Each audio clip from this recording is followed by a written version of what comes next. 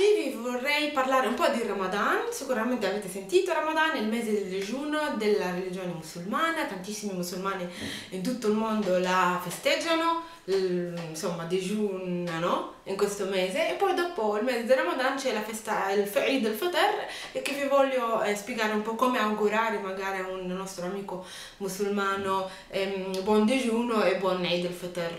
Ok, allora iniziamo un po' a spiegare cos'è il Ramadan. Ramadan è il mese più sacro per i musulmani perché è il mese dove eh, qualsiasi cosa buona che fai è raddoppiata secondo la loro religione.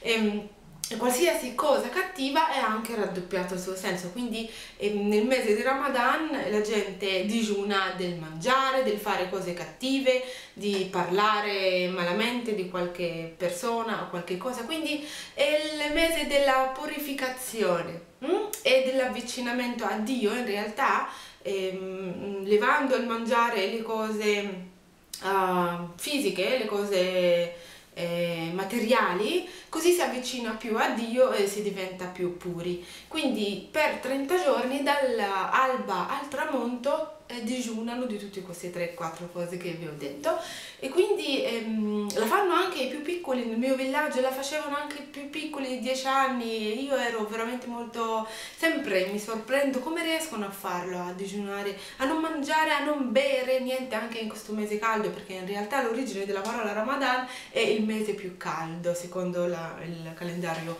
eh, lunare dei musulmani. Comunque eh, io sono molto, eh, insomma, apprezzo e mi sorprendo come piccoli bambini così possono digiunare un mese e è una cosa veramente forte, uno anche si diventa più forte eh, per, insomma, non avvicinarsi alle cose materiali, come il cibo, è una cosa eh, importantissima, bisogna anche sapere che dopo il tramonto loro possono mangiare fino all'alba del, della mattina. Dopo, eh, quindi potranno bere e mangiare tranquillamente, durante il giorno no.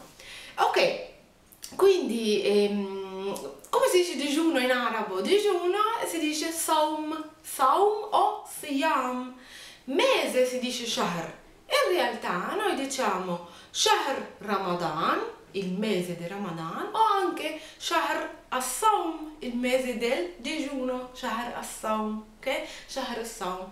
Ok, quando c'è il, il, tramonto e si finisce di digiunare si chiama iftar. Iftar vuol dire il, il finire del digiuno e l'inizio dell'iftar, del mangiare.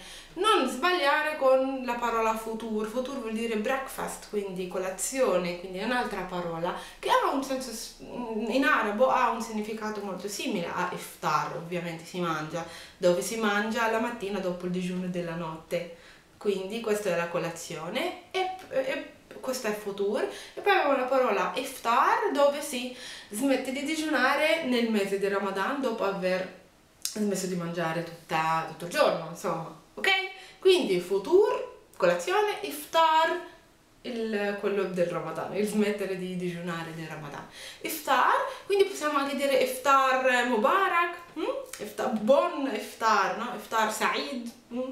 E augurare a qualcuno buon Ramadan, in arabo si dice Ramadan Karim, Ramadan Karim, Ramadan è il mese di Ramadan, Karim vuol dire ehm, generoso, Ramadan è generoso a noi, hm?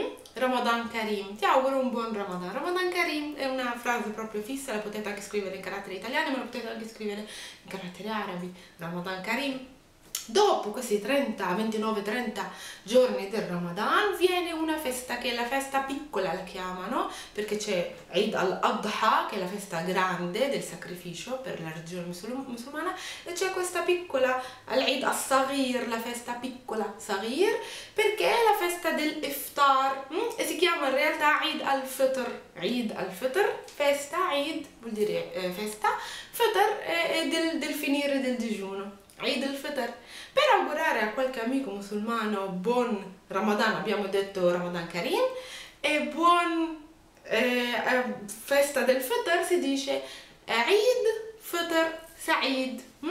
o si può anche dire Eid Fitr Mubarak ok? Mubarak vuol dire benedetto da Dio, però in realtà Sa'id vuol dire felice e possiamo tranquillamente dice, dire Eid Fitr Sa'id, ok? Io ti auguro Eid Fitr Sa'id, ricordate Eid con Ain Fitr Sa'id con l'Ain di nuovo, ok?